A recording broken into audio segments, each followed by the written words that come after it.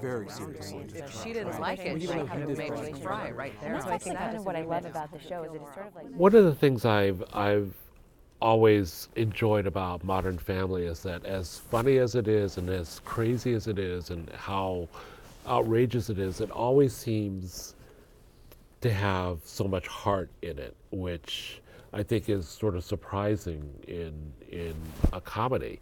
Um, but that seems to be such a key ingredient that's made this show a success. What do, what do you feel about that? Well, I'm I I I tip my hats again to Chris and Steve and and the and the staff there for not being scared of of of that because I think comedy can get snarky and did get snarky and sort of inside and sort of mean spirited at times, and the idea that something can be sweet and uh, tug a little bit on people's heartstrings. I, at, at the time that Modern Family came out, this sounds ridiculous, was somewhat courageous in, in the world of comedy to be that kind of risk that sappy sappiness, if you will, at the end of our episodes sometimes in, in different scenes. But I think the, the, the sheer velocity of jokes in a scene that we have, that we those guys have, and uh, as as as many things that come as rapid fire sort of make up for anyone that can say, "Oh, that shows just one thing," or "That shows this." I mean, it's a it's a it's a fairly complex organism over there, uh, which I still marvel at.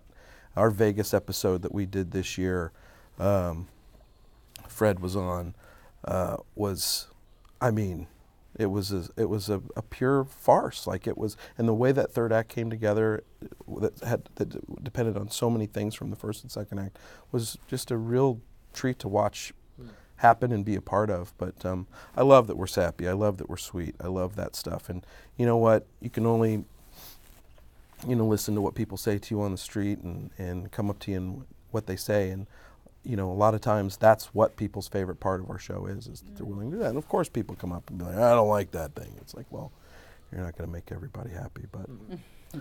I think it's it's a it's a it's a great quality of our show. Snarkiness and mean spiritedness have no place in Portlandia whatsoever. I mean, it's a very specific tone. Can you talk about how? And I think it was a risky concept to begin with to sort of take the city and poke gentle fun at it, and it's very effective. But there's there's a real affection involved in the humor, which I think is is really impressive. Well, yeah, I think I mean similar to what Eric was saying. I mean, we didn't want to be mean spirited. I mean, we didn't want to make people targets. And I think there's something that's really keeps people, especially an audience, at a distance. You know, when you're snarky or you're sort of prescribing, like, well, this is what's funny and this is what's silly about these people. And instead of when we just embody who they are, we or we know who they are because they're parts of of us, you know, it, it kind of invites the audience in. It's like the audience has something to discover if there's sweetness and heart in a show. You know, they can take a couple steps forward.